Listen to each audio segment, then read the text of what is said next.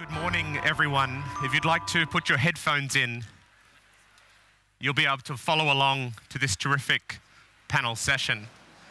My name is Simon Breakspear. I'm based in Australia, and I'll be your moderator today as we explore how do we unlearn how teachers learn. Can you hear me through the headphones? You have to put the headphones in. So, collectively, we are deeply committed to impacting student learning. And we spend much of our time across the WISE Summit thinking about the changes that we want to see for students. But if we're going to have those changes for students, then we equally need to talk about not just student learning, but the teacher learning that will be required to enhance teacher expertise in order to have the impact we want them to have. Indeed, we need teachers who know their content and how to teach it. They know their students and how they learn. And teachers who can adapt evidence informed practices to meet the unique context of their classroom. And so, therefore, our schools need to not just be great institutions of student learning, but adult learning as well. Over the last 10 years, we've seen big changes in how teachers get to learn together. A shift towards more embedded school learning based on the best available evidence, working collaboratively together. And today, served by four contributors on this panel, we're going to be exploring how we might need to unlearn how teachers learn and to look to new innovations that could help us all accelerate the work that we do. It's now my pleasure to invite up our four panelists for the discussion. Do you want to please come and take your seats and feel free to give them a round of applause as they come on up and settle in.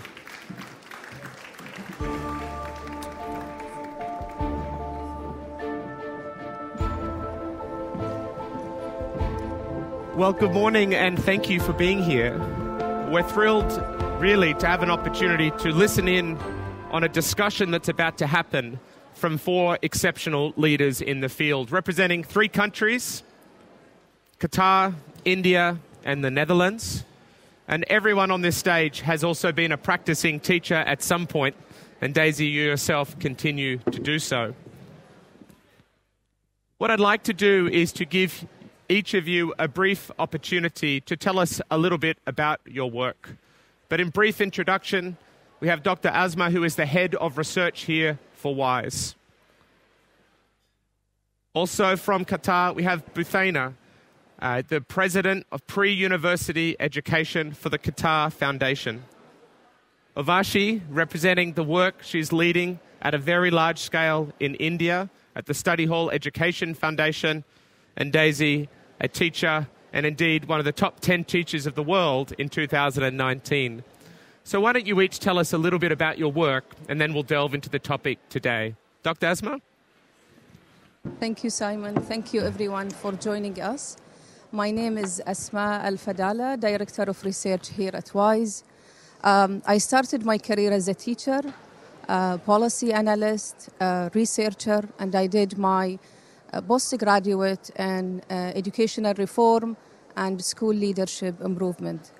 Uh, I joined WISE five years ago uh, as a director of research, but I also work with local schools, either from the Ministry of Education or from QF schools, uh, to build their capacity and uh, helping school leaders lead not only students' learning, but also uh, teachers' learning, which we will define it, I think, later on.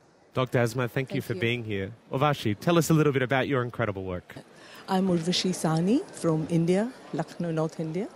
Thank you very much for having me here. I started a school in 1986 in my garage with six children. And now, today, 34 years later, we are serving 5,000 directly and over a million indirectly. So our work is basically focused on redefining the scope of education so that we include lessons of equality and more specifically gender equality and social justice along with lessons of math science history geography etc and we have trained in the course of our work thousands and hundreds of thousands of teachers and continue to do so both face to face and digitally. And I'll talk more about that later. We look forward to learning the lessons so far Now, Daisy, many of us, when asked about our favourite primary school teachers, often have a name that come to mind, and we might say they're the best teacher. Uh, but you in 2016 technically were voted the best primary teacher in the Netherlands. It's wonderful to have a practicing teacher's perspective here. Tell us a little bit about your school context and your work. First of all, I'm really happy to represent teachers in the summit. Um, I'm teaching in a very, yeah, I, I always call it like a ghetto in the Netherlands. Uh, uh, we in our school we have up to 30 nationalities, mm-hmm. so that's quite large. And um, I teach in an elementary school in grade five and six, and I do that three days a week. And uh, on Monday, Monday I work in The Hague together with the Princes of the Netherlands uh, for Number Five Foundation. And what our dream is, what my dream is, that child participation, child emancipation in schools, so that children take ownership of their own, own learning process, is the new norm in every school. So wonderful to have you here. And Buthaina, uh, a local here leading pre-university education for Qatar, Qatar, Foundation. Tell us a little bit about what that involves and the schools and this, the organizations you oversee. Uh, so, in my uh, position as president of pre-university education, I lead uh, 12 schools under the umbrella of QF and the Education Development Institute, which is dedicated to the continuous professional learning for teachers. Fantastic. Well, we'll be able to draw on that experience both in 12 schools and also trying to uh, develop a, a, an organization of professional learning that serves all Qatari teachers. Well, Dr. Asma, I might turn to you first as we start to explore what are the elements of high quality teacher learning, and indeed, um, in what areas might we need to unlearn how teachers learn. So, why don't you kick us off? Thank you, Simon. I think we need to redefine what do we mean by uh, learning and unlearning and what type of education we want to introduce in our schools. And the reason behind this, I think, schools as organizations are complex set mm-hmm. it has complex settings where when we introduce new ideas new innovations people may resist these new ideas. People uh, it will involve uh, changing in their behavior so we need to consider that element. Number two the world around us is changing. Uh, with the advancement in technology the connectivity uh, massive disruption and innovation in housing, transportation, healthcare, and all of that uh, have impact on the type of education we want to introduce. So, to summarize the three type of learning we want to introduce mm-hmm. is we want to encourage uh, the learning that informed by research, okay. driven by data. Number one. Number two, provide the opportunity for uh, teachers to uh, challenge their current practices, their skills, their beliefs, and finally to uh, provide uh, disciplined discussion, collaborative teamwork that they can uh, debate and discuss what is relevant to their context and to their classrooms. Fantastic. Maybe I can talk later about examples from the work we do here. So we're hearing a situation where teachers would be gathered together, informed by relevant research evidence that's contextually appropriate, engage in deep discussion, and thinking about areas of practice they can take into our classroom. This is uh, a terrific synthesis, I think, Asma, of the international research. Urvashi, take us to what this can look like across serving 6,000 students, uh, training thousands of teachers. So, uh, when we started our school, we really included the teachers in as co-creators of the whole school policies, of their teaching practices, informed by theory, of course, but even those theories were sh- deeply contested. So that as part of our whole school evolution was a program where every week the teachers would meet along with me and we would think very deeply about our children, what they need, what, how they learn, what they want to learn, and then how do we approach them in the classroom?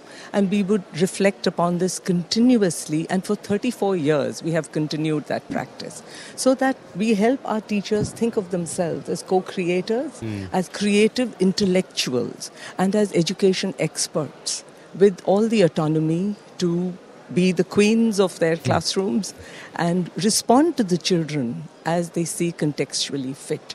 Not just that, the teachers, because they have the autonomy, they know that they have the freedom to fail. Mm. And because they have the freedom to fail, they feel free to experiment and they feel free to contest the theoretical learnings that have come. And in fact, be knowledge producers and be teacher researchers mm, in their mm. classroom. But most importantly, they learn to respect themselves as teachers. And as I've been interviewing many of the teachers, especially for this panel, they said that what they'd learned over the years was, first of all, to respect themselves as teachers and as intellectuals, and that has fueled their work going forward. So we see here a model of not of uh, teachers sitting in rows receiving workshops from experts outside, but indeed sitting around problems of practice that are emerging in the context of their classroom.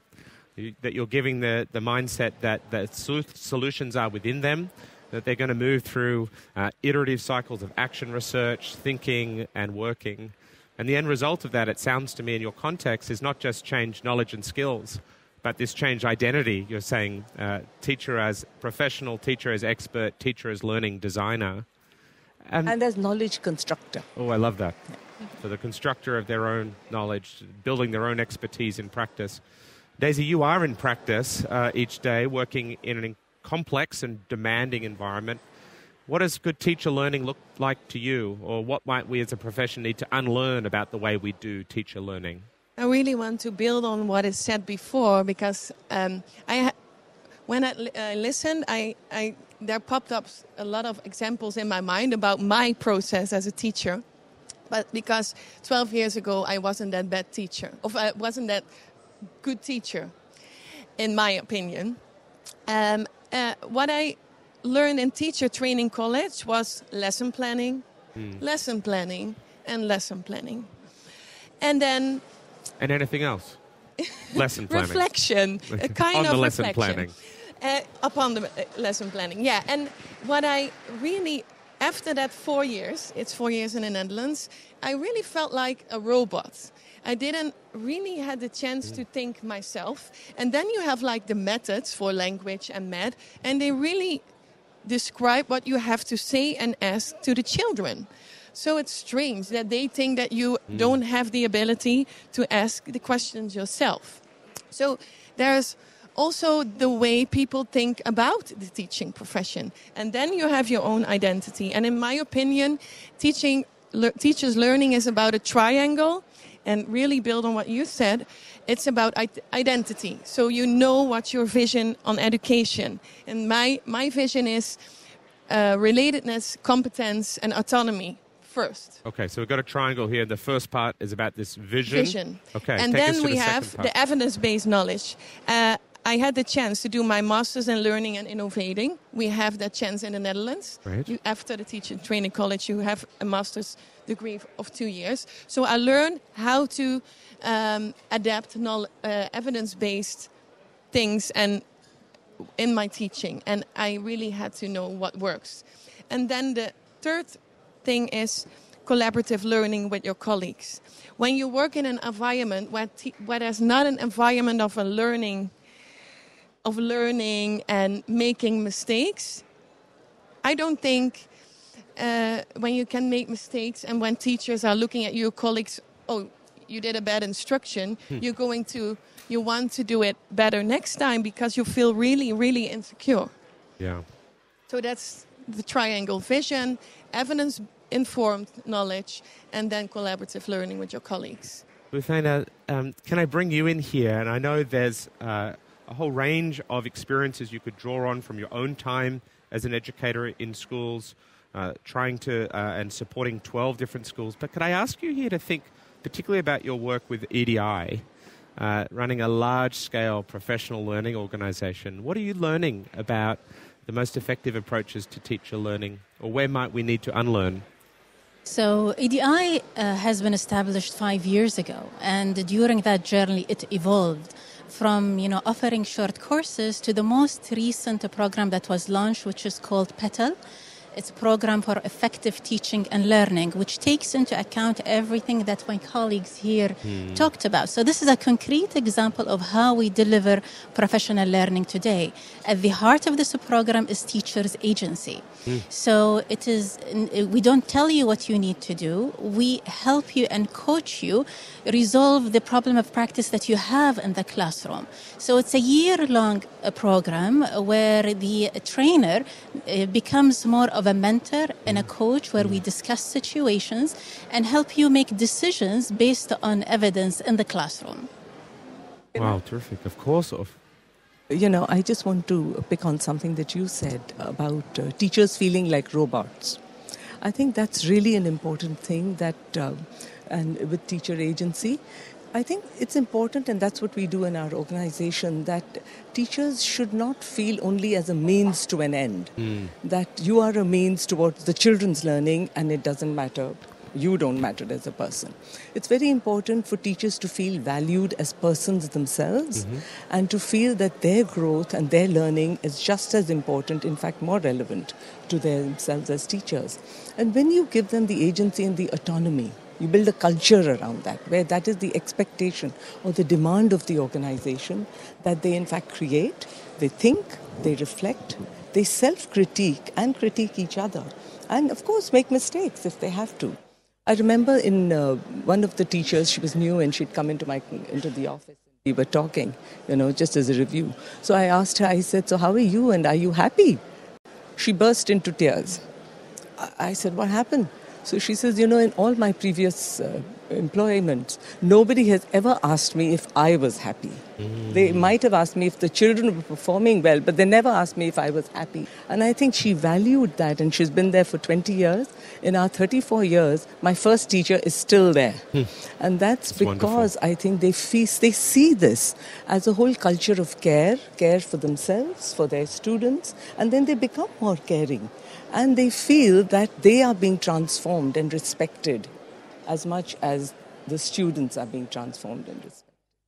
Wonderful. Yeah. If I may add here, I think what we are talking about is great, but we need that element which is the role of school leadership in supporting this type of learning. So, um, the evidence from research about the importance of school leadership in improving students' outcomes and um, teachers' learning is clear. Ten years ago, um, Viviane Robinson published her famous study, and we know all of that. But I think we need to shift the conversation from why this is important to the how. Mm. And uh, my colleague here, she mentioned part of it, which is the emotional support and mm-hmm. providing the support. But I want to add uh, providing time for collaborative learning providing the resources, also uh, important, providing the opportunity to fail and fail well and learn from failure. I think that's all um, important. Creating a culture that is open uh, without fear from evaluation is also um, important. I want to reflect also on the discussion that happened in the plenary today and yesterday. Uh, so what's, what we are talking about here um, quality uh, teaching and uh, quality learning. Uh, and this is, I think, uh, important to the role of empowering people on the ground. The mm. work of Vicky Colbert yesterday talked in the uh, closing uh, of the awards about her work in empowering teachers. Today, Shakira talked about working with the people on the ground. So it's just to connect that we are aiming for system change system reform, but we need to work on the people on the ground, as Buthaina mentioned, teachers' agency and empowering. Okay, them. so there's a, there's a couple of things here. Just I just want to tease out and then uh, bring in. I'd, I'd love to bring you in, Daisy, to talk about what it looks like to be a teacher and be empowered to to have greater levels of agency. Um, so it sounds like there's a fair amount of agreement amongst you, even though representing very different organisations and contexts that teacher learning needs to be about teacher professionalism and expertise. that it's not about telling teachers to teach in a certain way, but to build their capacity to make perhaps the right decision on the best available evidence that's appropriate for their context. It seems increasingly that you're suggesting that teacher learning should look a lot more like collaborative knowledge building, solving problems of practice. Uh, but I'm hearing from you, uh, Dr. Asma, that this doesn't just emerge, that actually leadership is required to set out the time, to provide structures, and to change the culture of that school. So, Daisy, can you take us to any specific examples at all about when there's times that you've felt safe to fail, where you've been involved in some sort of teacher learning or a culture of learning that's allowed you to continue to improve your craft? First of all, I really want to mention my school leader never gives us the answer. Sometimes it's really annoying, and we're like, okay, so you are the school leader, you have to decide. But then he he turns it back to us. What do you think? You are the professional, you have the expertise. I don't. And for are you sure he just doesn't know the answer? no, but he's saying it. I, I don't know. You know it better than me because mm. I'm not in front of the class. I'm just your leader. And it's okay for me. Um, a practical example is um, every four years we have a new strategic plan. Okay. And my school leader isn't work, uh, making it himself. He involves us, he involves parents, he involves mm, mm. children, and then we have three priorities this year. We have reading comprehension, math, social emotional learning. And, he, and then he asked us, who wants to be the coordinator from reading comprehension? And my colleague was saying, I want to do it. Okay, arrange a team around you, he said. She did. And now she is leading the whole reading comprehension development in our school.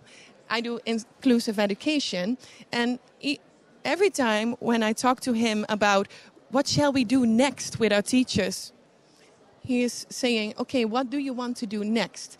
It's not that he not say, saying anything, but he gives his, mm. We call it a point at the horizon.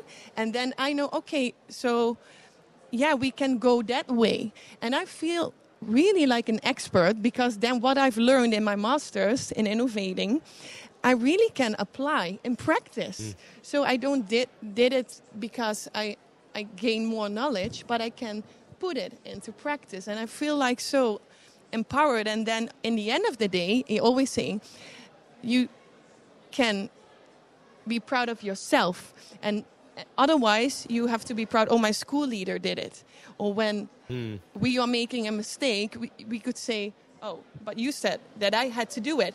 So, in the end of the day, we can be proud of ourselves and then we feel empowered. And I always say when you give teachers auto- autonomy, you feel what autonomy is and you can pass it through the children. Mm. If you want to give children autonomy, you need to feel and live it yourself as a teacher.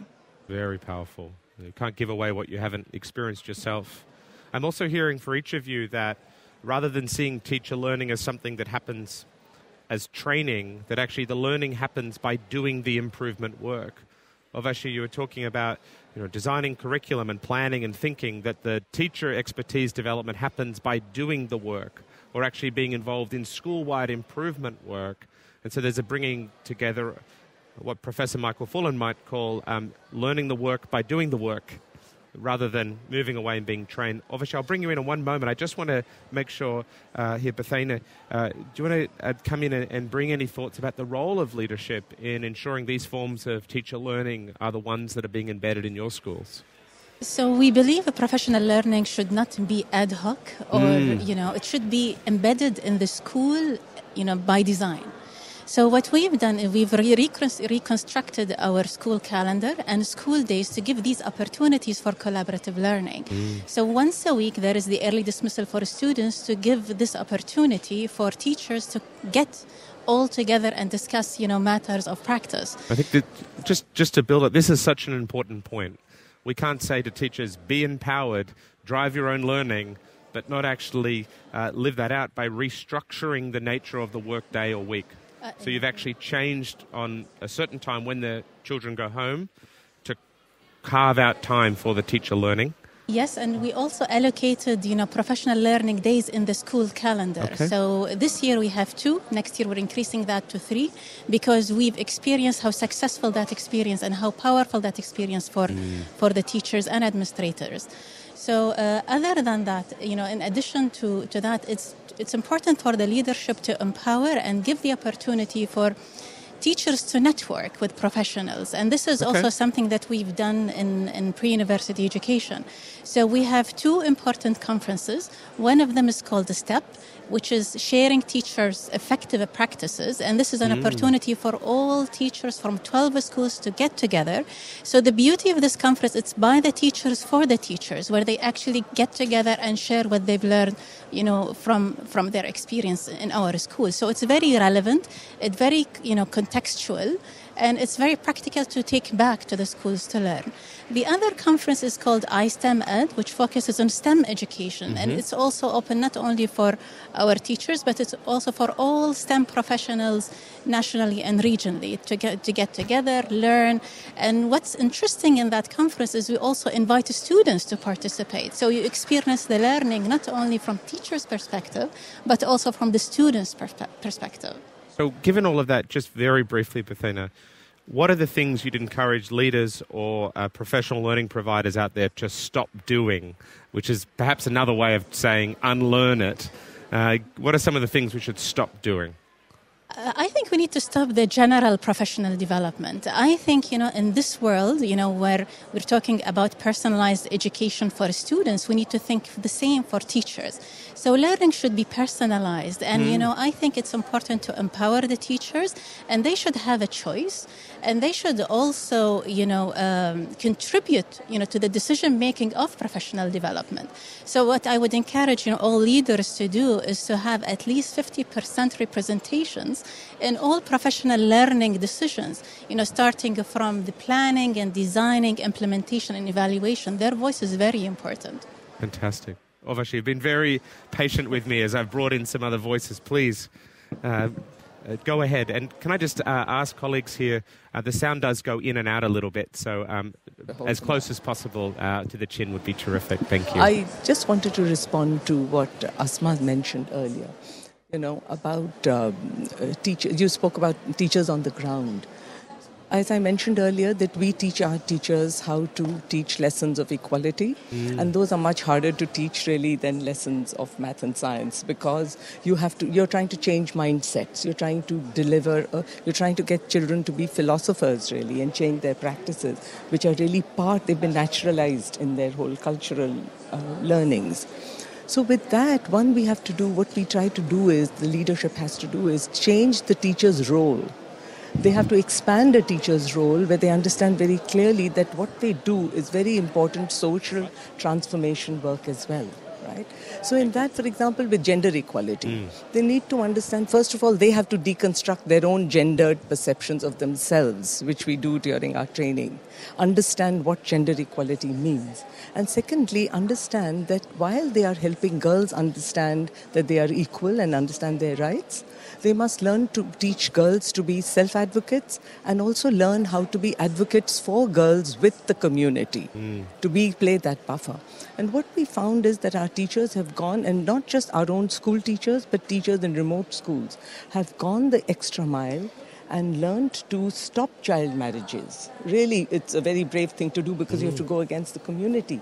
And I was surprised, and they said they would never have done this had they not been transformed to thinking of their role as people who should be helping girls stay in school and learn and try to counter some of the community barriers and the barriers on the ground, the social barriers.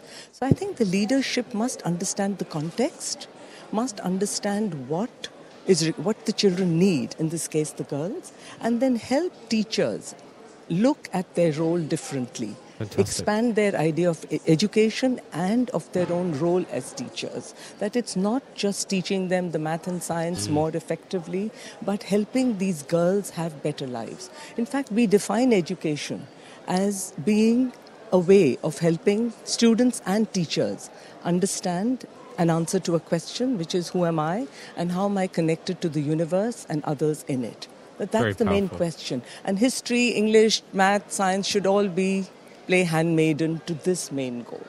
And that's how you look at your own role and what you're doing with your children. Thank you.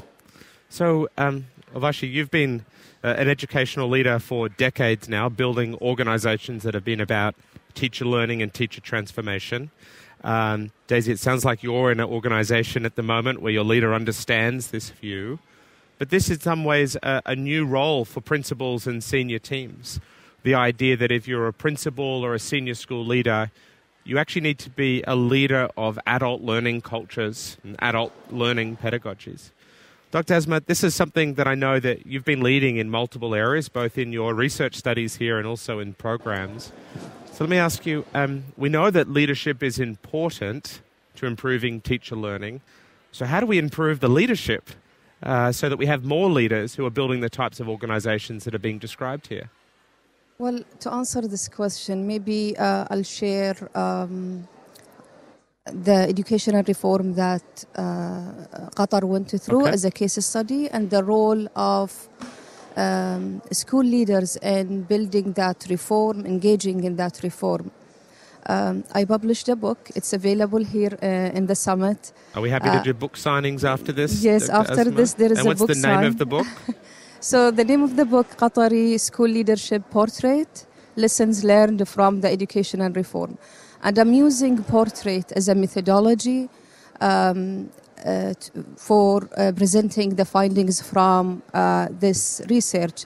And it's a methodology developed by uh, Sara Lawrence Lightfoot from Harvard uh, to present and share uh, uh, qualitative findings. So I wrote four narratives, four stories about um, schools in Qatar and the role of school leadership um, in, in, in managing the challenges of the reform. So, going back to your um, question, Simon, about how we develop school leadership, I think we need to think about the whole ecosystem where what can we provide for them so they can do their work better Okay. again re- referring to the work of uh, Viviane Robinson uh, about reducing change to increase improvement Okay. And the idea of we need to think deeply about how we do less but better either in teachers training sorry i'm trying to avoid using teacher training uh, so uh, to build their capacity uh, to be learners to be designers to be change makers uh, in improving students outcomes Terrific. Fantastic. Daisy, what about, can I ask, um, when often we use the term school leadership, people think of the principal, but uh, know you're a huge advocate of teacher leadership and uh, I might say distributed instructional leadership. Uh, what do you think? Uh, what can we do to continue to build leadership capacity at all levels to um, have improved teacher learning? Yeah, what I think, I was listening to what you were saying, Dr. Asma. Um, I think it all starts with a really open minded person as a school leader. Most of the time, school leaders want to push their vision through teachers in the classrooms. But it's really about knowing where you are going Yes. and help teachers with the why so that they create their own vision and then a collaborative vision together. Okay. And so it really help is really helpful if you have a school leader that is really open and don't judge you by what you are doing, but really asking you open questions. Why did you do it? Mm-hmm. What was the impact of what you were doing? And then he can it's also about let go letting it go and and then will ta- then the teachers will take the responsibility and the ownership if as a school leader you will you take the ownership and the responsibility nobody else is doing it A little bit like the classroom, right? yeah Uh, never work harder than your students.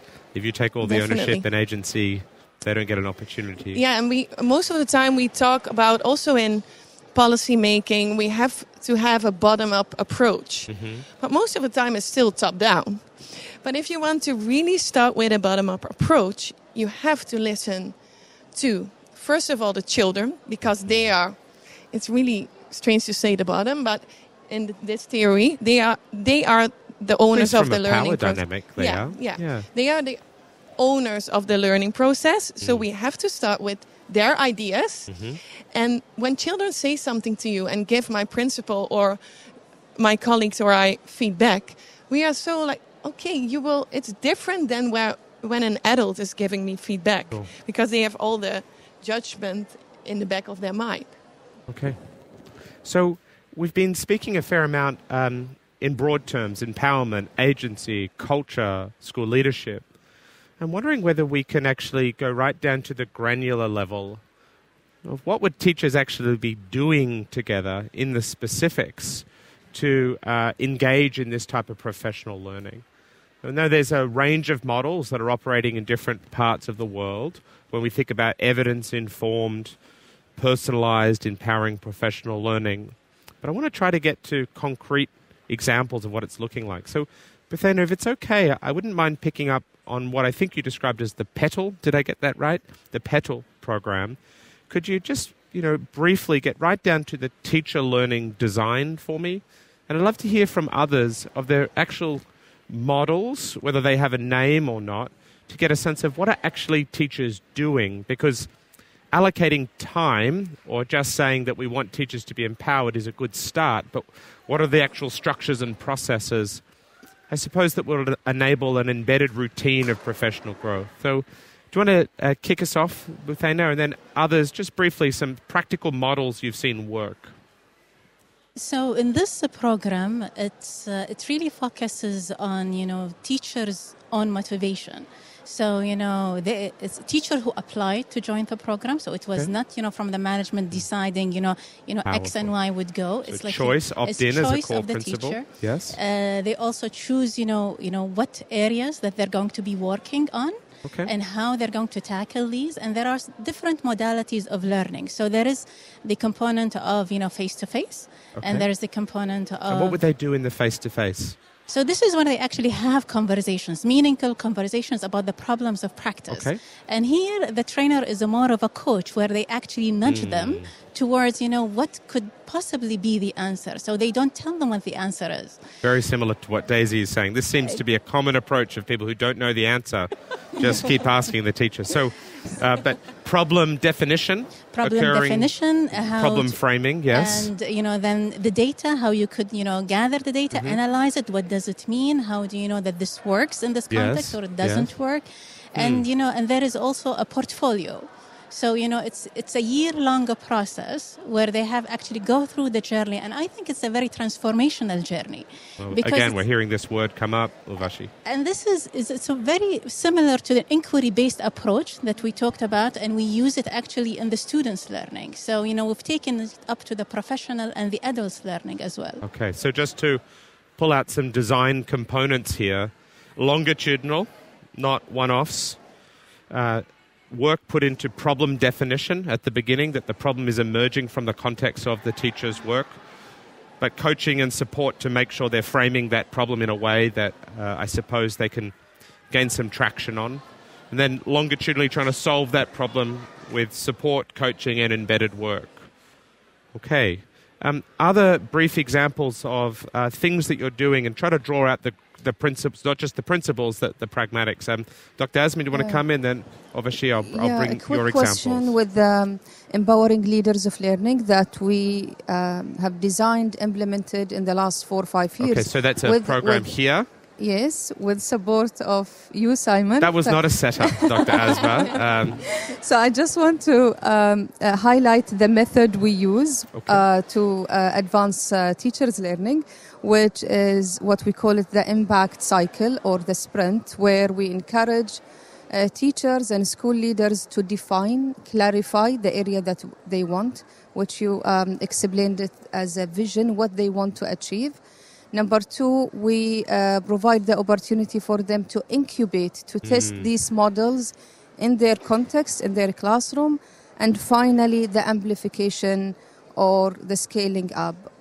And uh, uh, as you have been doing this, uh, Simon, uh, in several countries, um, the sprint model. So that's empowering teachers, involving in uh, students' learning that allow them to um, Uh, challenge their current practices, but define and identify what's best for them, when, and how. I think I appreciate you raising it, and I think one of the things that we've been learning together is, whilst we definitely believe in a longitudinal journey, that within that journey it's helpful to have small bursts of thinking, action, and reflection that build up to the change. And we've used the concept of a teaching sprint, people preparing and doing some thinking around problems and practice informed by research, moving into some doing over about one to four weeks of intensive, deliberate practice in their context, and then reflecting on evidence and those small incremental things adding up to expertise change. Uh, let's hear from uh, Urvashi. What does this look like uh, across your schools in your teacher training? What are the actual practical approaches? The practical approaches are. Uh, I want to even talk about how we develop leaders. In how, what are the methodologies that we use for that? But for the teachers, we have a couple approaches. One, it is structured into our school calendar, as you mentioned, and in fact, it's much more frequent than three a year. It's almost one a month. Okay. And what it does is that you come and discuss your problems. You also show examples. You actually have a presentation. Mm. You'll come mm. and model it. That this is what I did, this is what happened, and this is the presentation. This is the lesson plan that I executed, which was, and this is what the outcomes of it were. We also video those. And what happens with these videos is two things. Mm. One is that we can get new teachers to watch the videos and okay. critique them. And secondly, we put them all online and we have about 2,000 videos, wow. which are now viewed by over a million viewers from uh, India, all across India. And then the government has taken them up because we all know that you learn best by watching good teachers as well, yeah. right? And so, where could people find those if they were interested? On a platform called DSH Online, they're all in Hindi. I might warn you, spoiler alert. But, but they are all in Hindi. So our Hindi speaking neighbors from Nepal and Pakistan Fantastic. have been viewing them as well. And it's very empowering for the teachers, mind you, because a good teacher wants to teach not just 30 children in her class, but the teachers of the world. Mm-hmm. And so mm-hmm. some of our teachers have had over a million views and they are over the top and bursting to do more. That is wonderful. That is true. And with our uh, uh, with the leadership team, uh, we have a huge leader now. 15 new leaders, you know, who are leading all our. We have multiple schools and programs. What we do with them is that once a year we go away for a leadership retreat, mm-hmm. where it's really transformational. Some of people have called it a spiritual experience, where they come with problems that they want to address. They do a lot of reading, they present, and we have a lot of self work that we do through the three, four days. And now, what is happening with that is then they come and they use the same methodologies with their teams. Ah, and we okay. meet regularly, at least three times a year, to do follow up with those leadership. This is a really important point. So, you've, you've made earlier that teachers need transformational experiences and a methodology of inquiring their way into knowledge building if they're going to give it to students. And now mm. you're saying if leaders are going to be high quality leaders of teacher learning, they themselves had need to to actually experience that in their own life and in their own learning. And I cannot emphasize enough the importance of personal transformation. That teachers must not be treated as only a means to an end. That they must, you know, your German philosopher said, Kant treat humanity always as an end in himself and never as a means alone. Yes. And so with people and with teachers particularly, often they end up feeling that they are just meant for the children. Yes, of course they are, but they are meant for themselves too. Powerful. And so it's Powerful. very, very important that teachers feel important as persons, addressed as persons, responded to as persons, and it's important that their own growth is as important, and not just as teachers, personal growth. So that's why leaders must build a culture of learning. We are 34 years old, and I still think of ourselves as years, a start, yeah. startup yeah. because we are a learning organization. Yeah. So we are not just a teaching organization. Most importantly, primarily we are a learning you know, organization. Obviously, I, I can't help but think that um, there's probably no system in the world or school that doesn't use some of this language.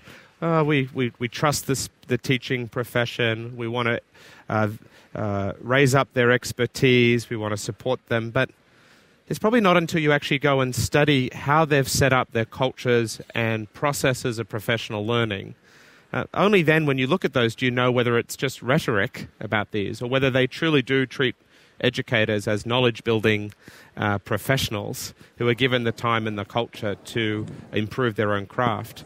And I think sometimes there's a disconnect because many people are using the language, but what you've done over 34 years now is actually built organizations that represent those values and approaches in the way that they run.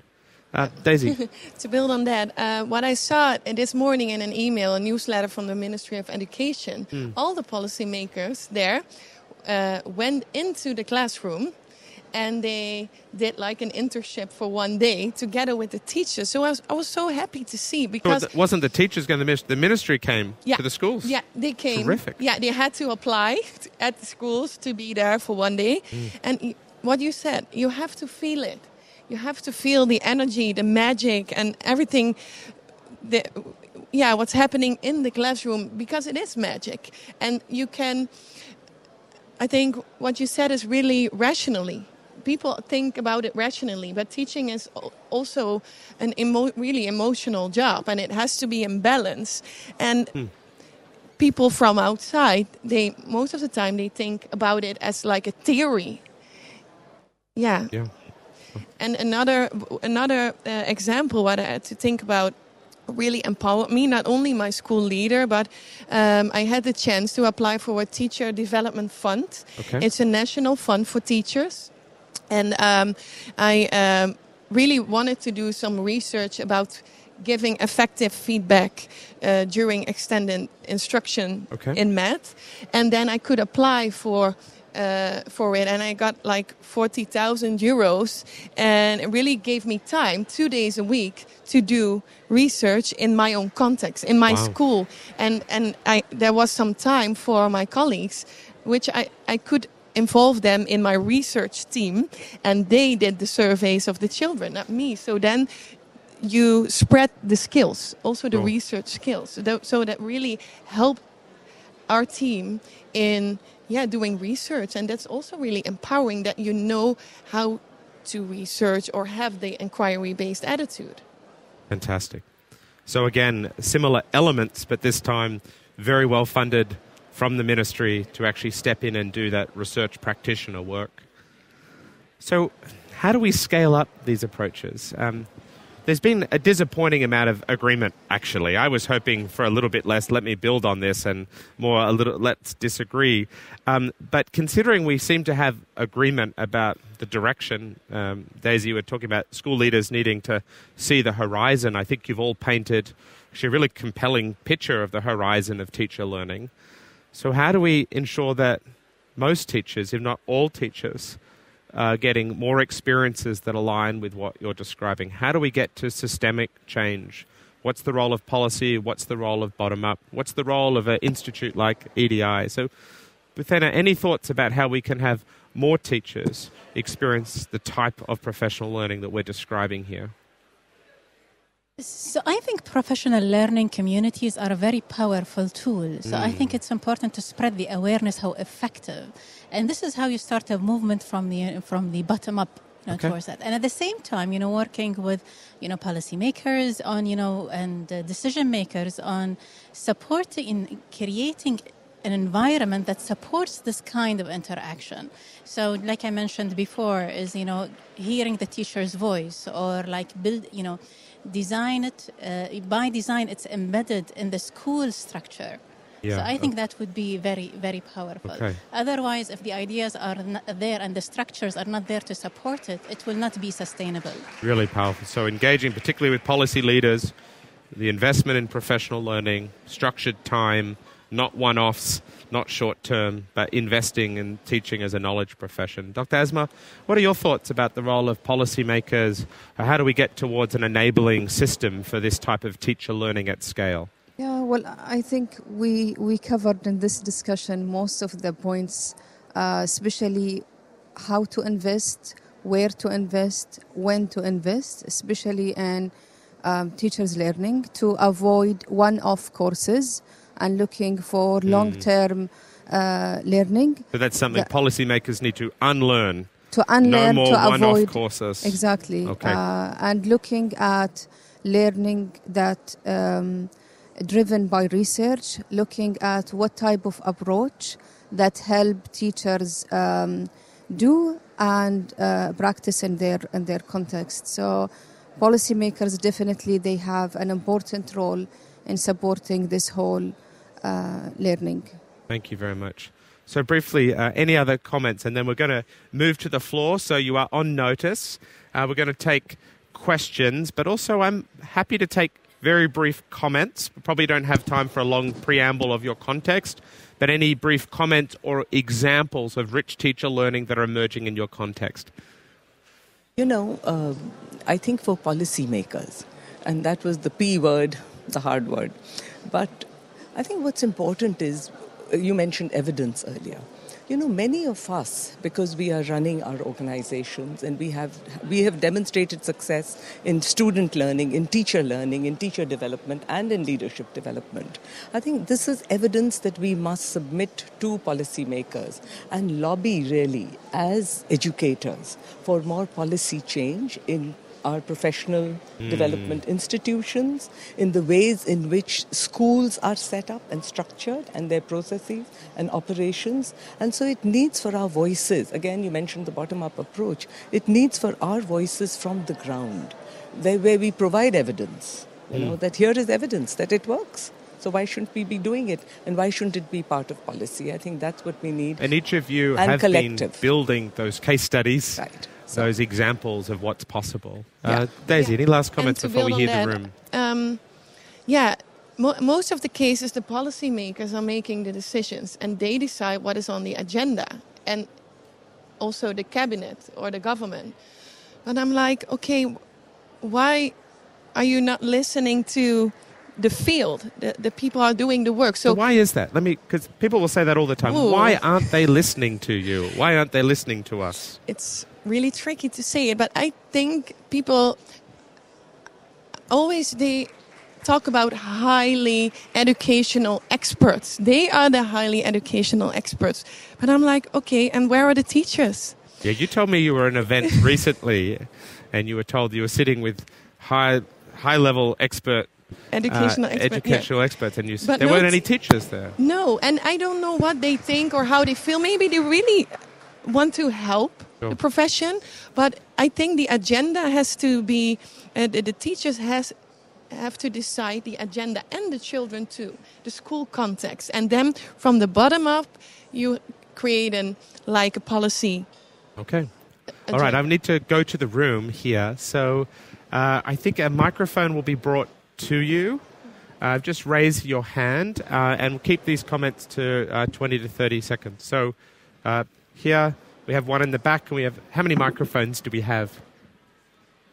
Uh, two. Okay, so let's uh, come up the front here, and then there's one at the back there. If we can move a microphone, I'll come over. Those behind me, don't worry, I know you're there, and I'm coming to you. Yes, hello. Thank you so much for this brilliant panel. Uh, my name is Masa Mufti. I'm an educator from Syria, and I happen to be working on a program. It's in detailed design phase, which is Refugee Teacher Academy, which is specifically attempts and works towards empowering uh, teachers working in context of crisis and conflict. Wonderful. And one comment I would like to add to everything you said that is absolutely um, relevant and brilliant is that teachers in in, cont- in such context go through another layer of experience, almost a spiritual experience or transformational experience. This is the moment they feel so much valued. They feel that they are the hope agents. They mm. are the ones, they are living a historical moment, and it's so unfortunate that when it comes to response to humanitarian crisis, the people who are mostly marginalized are the teachers. Mm. So we tend to focus on beneficiaries, on teacher, on, on children's enrollment in schools and responses, and we forget the key player who is the teacher who is ready at this historical moment to become the leader. He's like the disposition is there. So i also based on evidence we realize from my ngo that we i work with syrian refugees in lebanon. This is why this training program of professional development started to become more of an academy to be. Much. But my question, this is something that I just wanted to add, sorry, but my question to you seems like we couldn't be more agreeing of what everything you said. My question is, how can we though unlearn how policymakers learn? I think this should be the question. And All not, right, we need to redo this panel. That's a much better question. Well, look, uh, on behalf of all of us, we thank you for your work? Thank you for sharing in too much time a brief insight into that. And I think you've framed uh, in a really powerful way what Daisy has lived experience uh, of, which is uh, there's certain ways of working at the moment uh, at the policy level that doesn't bring in the insight for the field. What I'd like to do is uh, just bring a couple of other voices in. Uh, we could make them quite brief, and then I'll let the panel, we might be able to respond to some of them. Thanks very much. So we had one at the back here, and then if we could move over to, over here, and then to the lady here. Hello. Okay. Um, I just want to ask a question about Yes, the bottom up approach and creating professional learning communities. So, how do you ensure that teachers can share their concerns in a safe space and not fear the hierarchy of being in an institution? Okay, thank you. I'm going to pick that up. We'll hear a few more. So, uh, learning is going to come through failure, through talking about what we can't do yet, uh, and then how do we create the psychological safety for that. Can I bring uh, the microphone down over here? We have the Minister from Bhutan here. Thank you so much, Minister, for being here. Um, comment here, and then we'll have one microphone over in this direction, please. Oh, thank Minister, you. thank you for Oh, joining thank us. you. This session has been music to my ears as a teacher for so many years. Um, I can agree more with all that's been shared about the centrality of the teacher in this education stage. I believe, among many others, teachers do two things. There is that they teach what they know. They know history, so they teach it. They know biology, and they teach it. They know IT, and they teach it. So they teach what they know. But more importantly, they teach who they are. And uh, this is, I think, the more important uh, aspect of a teacher's um, mission. What they know can also be known by students on their own through the net, uh, through the other very many means that they have at their disposal. And it is also available in uh, so many other forms. What the teacher is, is not in the library, it is not on the net. The teacher is uh, a composite whole of uh, his or her own uh, upbringing, training, education, culture, civilization. The teacher is his beliefs or her beliefs, faith. The teacher is ideals and beliefs, beliefs. The teacher is the inheritor of um, the great tradition of um, knowledge and wisdom in his or her own field. And this is also passed on to succeeding generations of educators. So a teacher is, um, and a, a teacher does two things. Let me uh, let me. And then I have to move on, ministers. One, one they they teach what they know, but more importantly, they teach who they are, and who they are is manifested by not by saying, but by doing, by showing. And every single detail of the teacher's life is the curriculum for the children. So teachers do two things they teach what they know, but more importantly, they teach who they are. Thank, you. Uh, what a great way to capture some of the discussion on transformation. And it seems to me that we're rediscovering that teachers are human uh, and that we need to invest in them as people. I'm going to bring a few more voices, and here's what I'm just going to beg your forgiveness that we probably won't be able to answer all the questions. But the panel may well be available to then uh, speak to you afterwards. So I, I do want to serve those behind me. Did we have a microphone over here to this? Where is the microphone? Oh. I am coming, so yes. Assalamu alaikum. Uh, اسمي آه، علي وهد آه، منسق لغة عربية في مدارس الوزارة آه، أنا سأتحدث باللغة العربية I speak in Arabic okay آه، طيب uh, my name is uh, uh, Mr. Ali Wahd um, Arabic coordinator uh, in uh, uh, school uh, from uh, ministry um, uh, there is a big problem I think uh, uh, uh, with uh, with the teacher that is um, a teacher uh, be afraid from um, um, upgrade if uh, he- uh, if he um, tell about himself I need to to training in. That means I didn't know. So I I I am afraid I maybe uh, next year I didn't hear because uh, I didn't know. So um, he if if he if you ask him what did you want? What do you want to to uh, training? I'm very good in everything. Okay. Okay. So we must uh, um, improve improvement the uh, the teacher uh, to to. Uh, uh, to go to the um, um, training himself and yeah. Very. I think a good connection is also to the yes. comment about. Another safety. I'm going to have to move on uh, to result, hear a few more comments. There is a giant between result and a teacher, it's very problem. So you must make big results in the, by the end of, year, of the year.